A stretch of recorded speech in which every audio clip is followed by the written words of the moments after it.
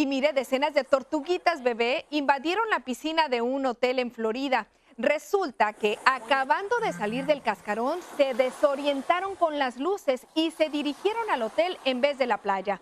El guardia de seguridad no se daba abasto, así que llamó al sheriff y entre varios agentes las recogieron y las colocaron en la orilla del mar, alumbrando el agua precisamente con sus linternas para que siguieran su camino.